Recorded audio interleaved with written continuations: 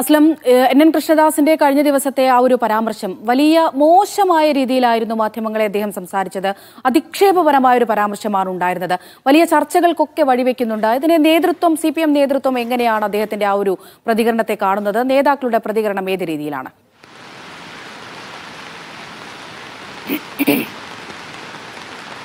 ഹെന്നൻ കൃഷ്ണദാസ് മാധ്യമങ്ങൾക്കെതിരെ നടത്തിയ പരാമർശം ശരിക്കും പാലക്കാട് സി പി എമ്മിനെ വലിയ പ്രതിസന്ധിയിലാക്കിയിട്ടുണ്ട് എന്ന കാര്യത്തിൽ സംശയമില്ല. കാരണം ഒരു ഉപതെരഞ്ഞെടുപ്പ് വളരെ പിന്നെ നല്ല കോമ്പറ്റീഷൻ തെരഞ്ഞെടുപ്പ് വളരെ ടൈറ്റ് കോമ്പിനേഷൻ നടക്കുന്ന ഒരു തെരഞ്ഞെടുപ്പ് ഒരു ഘട്ടത്തിൽ ഇത്തരത്തിൽ മാധ്യമങ്ങളെ അനാവശ്യമായി പ്രകോപിപ്പിക്കുന്ന രീതിയിലായിപ്പോ എന്നൊരു സമീപനമാണ് പൊതുവേ പാർട്ടി നേതാക്കൾക്കുണ്ട് അതുകൊണ്ട് തന്നെയാണ് സി പി എം സംസ്ഥാന സെക്രട്ടറി മുതൽ പോൾ ബ്യൂറോ അംഗം ഉൾപ്പെടെയുള്ള ആളുകൾ അതിൽ നല്ല ഭാഷ പ്രയോഗമല്ല എന്ന് കൃത്യമായി തന്നെ പറഞ്ഞത്.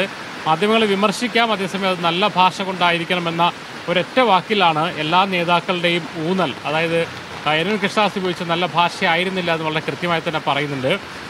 എൻ എൻ കൃഷ്ണദാസ് അത്തരമൊരു വാക്ക് പ്രയോഗിച്ചിട്ടുണ്ടെങ്കിൽ പ്രയോഗം നടത്തിയിട്ടുണ്ടെങ്കിൽ അതിന് താൻ മാപ്പ് ചോദിക്കുന്നു എന്നാണ് പി സരിൻ ഇടതുപക്ഷ സ്ഥാനാർത്ഥി പറഞ്ഞ കാരണം അത്രത്തോളം ഡാമേജിങ് ആണ് ഈ തെരഞ്ഞെടുപ്പ് ഘട്ടത്തിൽ അദ്ദേഹത്തിന്റെ പരാമർശം എന്നത് എന്ന് തെളിയിക്കുന്നതായിരുന്നു സരിന്റെ പ്രതികരണം. അതേസമയം ഇതുവരെയും ഇതുവരെയും ആ പരാമർശം തിരുത്താനോ അതിൽ ഖേദം പ്രകടിപ്പിക്കാനോ എൻ കൃഷ്ണദാസ് തയ്യാറായില്ല എന്നുള്ളതാണ് ഏറ്റവും ശ്രദ്ധേയമായ കാര്യം. താൻ പറഞ്ഞ കാര്യത്തിൽ ഉറച്ചു നിൽക്കുന്നു കൃത്യമായ ഉപമയാണ്.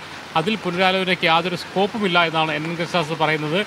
സ്വാഭാവികമായും ഇത് ഇട പാലക്കാട് ഇടതുപക്ഷ ഇടതുപക്ഷ പ്രചരണ രംഗത്ത് വലിയ ചർച്ചയാവുന്ന കാര്യത്തിൽ സംശയമില്ല. നാളെ അസ്ലം ഒരു സംശയം. സാധാരണ ഇത്തരത്തിൽ നമ്മുടെ വായിൽ നിന്ന് വാക്കുകൾ വീണു പോകുന്ന സാഹചര്യങ്ങളൊക്കെ ഉണ്ടാകാറുണ്ട്. പറഞ്ഞ് വരുമ്പോൾ അബദ്ധവശാൽ ഇത്തരത്തിലുള്ള പ്രയോഗങ്ങൾ വരുന്നതും കണ്ടിട്ടുണ്ട്. പക്ഷേ കൃഷ്ണദാസ് ഇപ്പോഴും അത് പിൻവലിക്കാൻ തയ്യാറാകുന്നില്ല. മാപ്പ് പറയാൻ തയ്യാറാകുന്നില്ല. അപ്പോൾ മനഃപൂർവം തന്നെ പറഞ്ഞതാണ് എന്നാണോ അദ്ദേഹം പറയുന്നത്?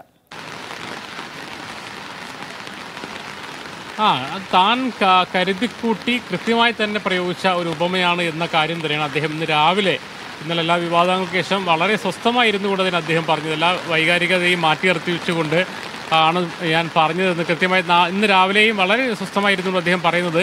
താൻ ആലോചിച്ചുറപ്പിച്ച് പറഞ്ഞ കാര്യമാണ് എന്നാണ് പറഞ്ഞത്. അതായത് മാധ്യമങ്ങൾ പി സരിൻ കോൺഗ്രസിൽ നിന്നും പുറത്തേക്ക് വരുന്ന ഘട്ടത്തിൽ വലിയ തോതിൽ അദ്ദേഹത്തിന്റെ പ്രതികരണങ്ങൾക്ക് പിന്നാലെ മാധ്യമങ്ങൾ പോയിരുന്നു. തുടർന്നാണ് അദ്ദേഹം പുറത്തു വരുന്ന എൽ ഡി എഫ് സ്ഥാനാർത്ഥിയായി മാറുന്നതും.